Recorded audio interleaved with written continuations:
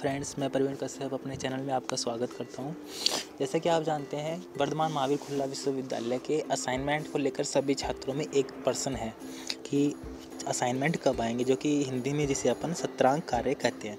तो आपको मैं जैसे बताता हूँ कि अपने को असाइनमेंट कहाँ देखने को मिलेंगे। तो जैसा कि आप देख रहे हैं, इसकी मेन वेबसाइट पर आ चुकी है अपन।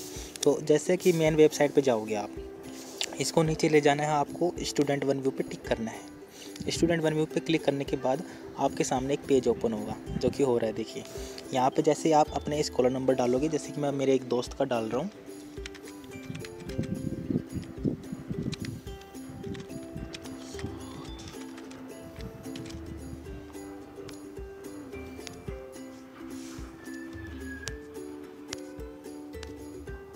देखो दोस्तों जैसे मैंने scholar number date of birth डाल दिया है तो आपके पास इसके बाद ये स्क्रीन इसके सामने शो होगी। तो जैसे कि दो, दोस्तों आपको देखना है आप असाइनमेंट कहाँ पर शो होंगे।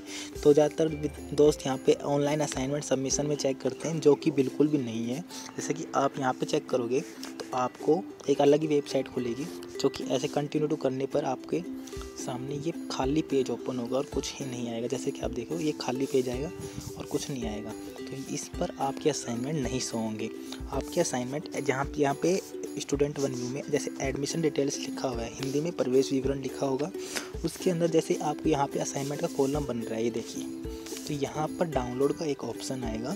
यहाँ पर जैसे आपके स्क्रीन स्टूडेंट व्यू में डाउनलोड का ऑप्शन आने लग जाए तो आप समझ लेना आपके असाइनमेंट आ चुके हैं, आपको उन्हें डाउनलोड करके। ए फोर साइज़ के पेपर में ये जो लाइनदार कागज़ आते हैं, जो कि मार्केट में उपलब्ध होते हैं, उन पर उनके आंसर लिखने हैं, दिए गए निर्देश अनुसार, फिर उनको सभी को एक फ़ाइल में डाल के।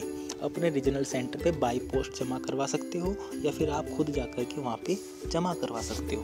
तो दोस्तों, आपको असाइनमेंट के बारे में यहाँ पे जानकारी मिल गई है और आगे भी हमारे ऐसे ही वीडियो की जानकारी के लिए हमारे चैनल को सब्सक्राइब कीजिए और वीडियो को शेयर कीजिए। धन्यवाद।